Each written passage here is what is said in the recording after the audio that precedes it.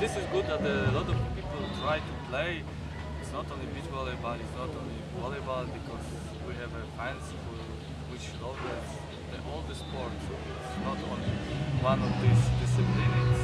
It's similar, but it's not the same. And the people like here in Stare Jabłonki are enjoying with us the game. They are loving this. The, atmosphere here is really great, really nice, and we think that in the Saturday, Sunday, will be full audience and uh, cheering all and know that someone will be in the final.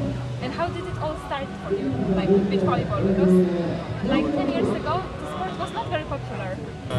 We play indoor and in the summer we just play for fun uh, beach volleyball and then the coach so Proposed the, yeah, proposed so the players, teenagers who playing and he tried to create a team and uh, after things go to the European Championship or the World Championship it's not like now we have uh, professional players, young players uh, who is uh, practicing in the woods all the year and then they are going to the European Championship. They always are in the final, they take over.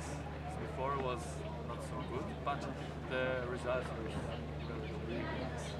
And what, what is the best thing in beach volleyball that you chose that you decided to change from beach volleyball to beach volleyball? It's another sport, like difficult and I know, it's like chill out, you know.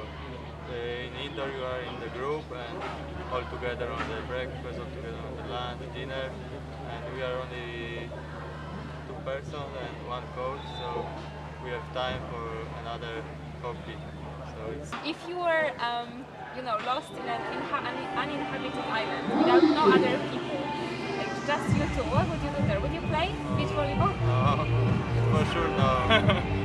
I can go on the left side, and Mario on the right side. Like And we need umbrella because we we don't like uh, sun. You don't like sun. Yeah, we You didn't- all, all If you the play year, all year on the yes, sun. so after the